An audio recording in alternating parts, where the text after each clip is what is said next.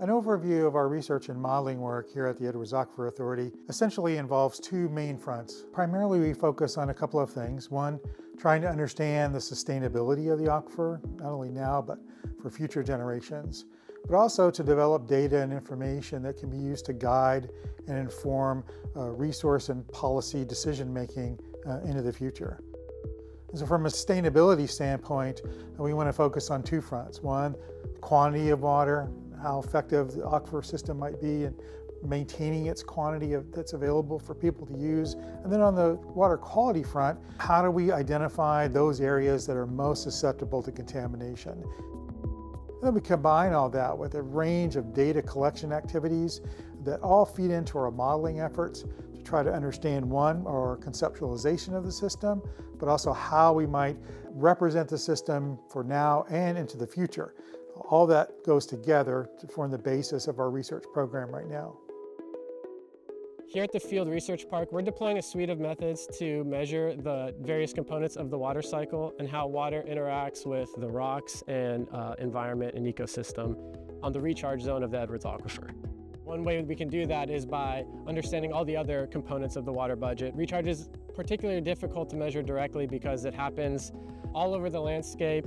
What we do is we measure rainfall using weather stations throughout the site measure evapotranspiration using a method called eddy covariance. We measure runoff using pressure transducers and weirs. We measure unsaturated zone storage and changes in that storage uh, using geophysical methods, including electrical resistivity tomography and borehole nuclear magnetic resonance, as well as a suite of uh, conventional soil moisture sensors.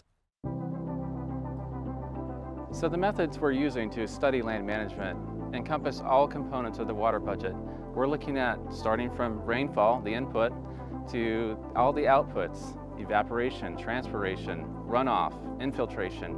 So we have a set of experimentation and data collection for each individual component of that budget. The collaboration of scientists, policymakers, and private citizens is critical in conservation. These problems related to uncertainty related to climate change, growing population, urban sprawl, land development, are not just simple issues that one group can tackle. All these folks need to work together. Here in Texas, more than 95% of the land is privately owned. We need the help of private landowners and private citizens to extend conservation practices across the region, whether that be through conservation easements, through irrigation suspension strategies, through aquifer storage and recovery leasing, or through land management. We need all of these programs to work together to combat the uncertainty we may face in the future. The water quality program collects for major ions, including trace elements, stable and radiogenic isotopes, and a broad range of organic compounds as well. We're also looking at many new emerging contaminants, so we've added things like nutrients, PFAS, and microplastics to many of our sampling suites. All this geochemistry data that we collect is hopefully going to allow us to identify areas in which the aquifer is vulnerable to contamination and help us to understand the intra-aquifer connections. So the Edwards Aquifer and adjacent aquifers provide water for over 2 million people in San Antonio and the surrounding areas. That water resource is used for a variety of applications across the region. So when development projects are proposed over the aquifer, people in the nearby communities start to raise concerns over how that development can affect the water quality in their wells.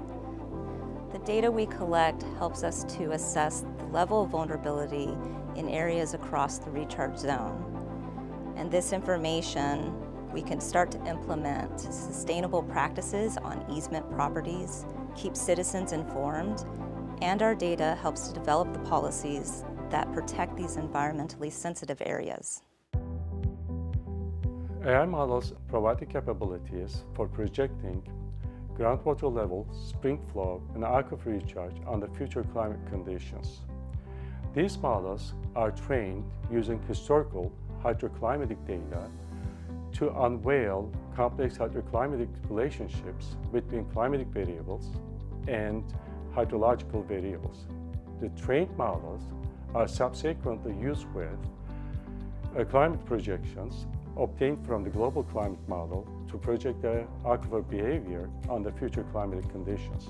Such insights from AI-based predictions are very critical to evaluate the sustainability of the aquifer and effectiveness of our existing management and mitigation measures under future climatic scenarios.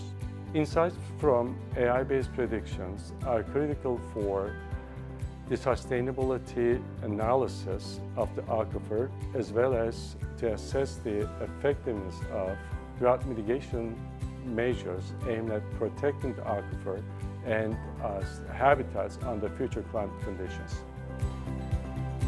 So we have comprehensive water quality monitoring program, water level monitoring program, a significant number of data streams that are handled within the organization. We try to make that publicly available with publicly accessible databases uh, to utilize and uh, collaborate with others. It's a total team effort at the Edwards Aquifer Authority, and that's something that we're really proud of.